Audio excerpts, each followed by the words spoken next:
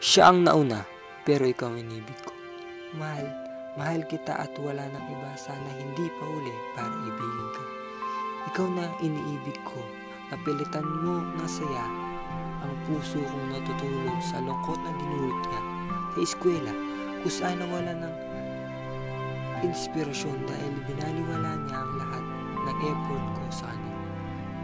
Yung tila bigla na lang siyang nawala nang hindi nagpapaalam sa eskwela na ikaw ay aking nakilala na tila biglang bigla ulit nabuhayan ng at nagbibigay sigla ang mga sak sakit na alaala na dinulot niya.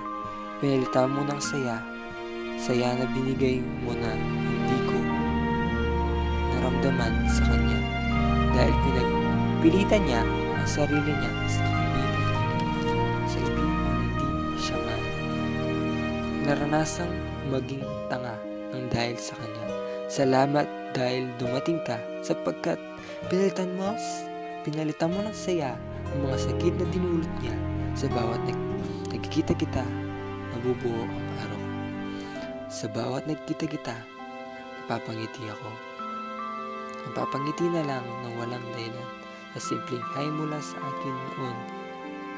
Bigla mong nabiha aking puso.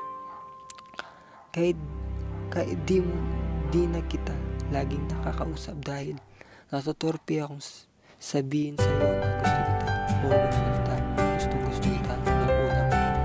Pero natatakot ako na malaman mo, maiwasan mo ako at di na kausapin. Ulit-ulit lang ako nahuhulog sa'yo. Saya, siya ang nauna, pero ikaw ang inibig ko at gusto makasama para kumana saya. Siya ang nauna, pero ikaw ang iniibig ko. Hello,